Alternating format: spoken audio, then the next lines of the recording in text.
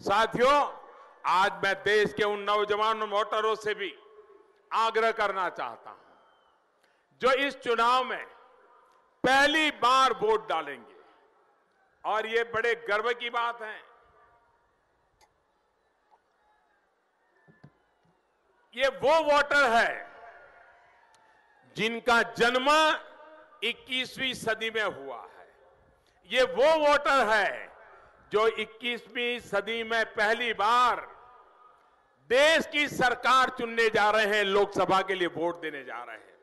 और इसलिए 21वीं सदी के ये महत्वपूर्ण मतदाता, जो पहली बार के वोटर है, मैं आपके लिए कुछ बातें करना चाहता हूँ।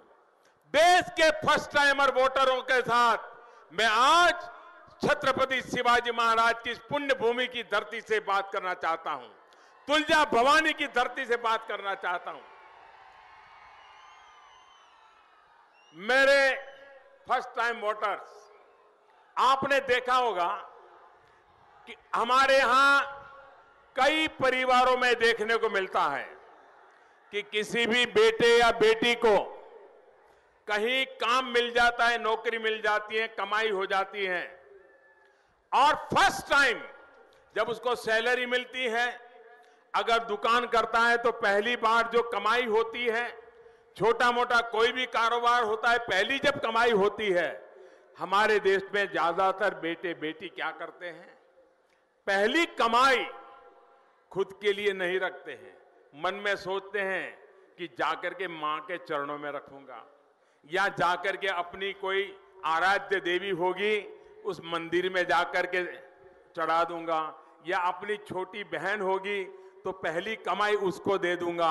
ऐसा आज भी होता है कि नहीं होता है? ये हम पहली कमाई दे देते हैं कि नहीं देते हैं?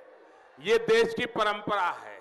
मैं आपसे कहना चाहता हूँ, मेरे देश के फ़र्स्ट टाइम वोटर को, आप भी संकल्प कीजिए कि पहला वोट आपका, जो आपके जीवन की ऐतिहासिक घड़ी है। आपके जीवन पर याद रहेगा कि पहला वोट कब डाला, कहाँ डाला, कौन सा चुनाव था, किसको डाला। ये जीवन पर याद रहने वाला है। हर किसी को पहली घटना याद रहती है।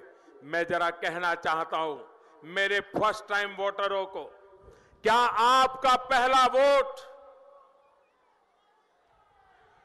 पाकिस्तान के बालाकोट में एयर स्ट्राइक करने वाले वीर जवानों के नाम समर्पित हो सकता है क्या? मैं मेरे फ़र्स्ट टाइम वोटर से कहना चाहता हूँ कि आपका पहला वोट पुलगामा में जो वीर शहीद हुए, उन वीर शहीदों के नाम आपका वोट समर्पित हो सकता है क्या? मैं फ़र्स्ट टाइम वोटर को कहना चाहता हूँ, क्या गरीब को पक्का घर मिले?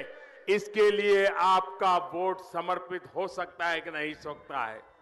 मैं मेरे फ़र्स्ट टाइम वोटर को कहना चाहता हूँ, किसान के खेत में पानी पहुँचे, इसके लिए आपका पहला वोट जाना चाहिए कि नहीं जाना चाहिए?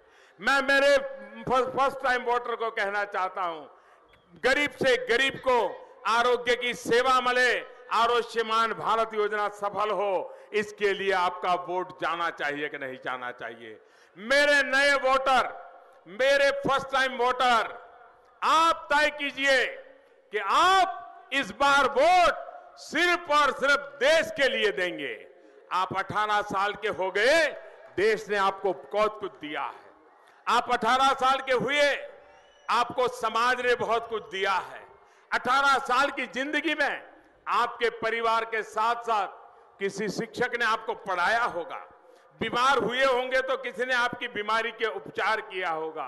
आपको आर्थिक मुसीबत होगी तो किसी ने आपको आर्थिक मदद की होगी।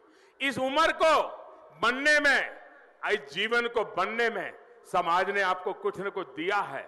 और इसलिए पहला वोट किसी भी गलती के बिना सिर्फ़ और सिर्फ़ देश के लिए देंगे। देश को मज़बूत बनाने के लिए देश को मज़बूत बनाने के लिए एक मज़बूत सरकार बनाने के लिए दीजिए।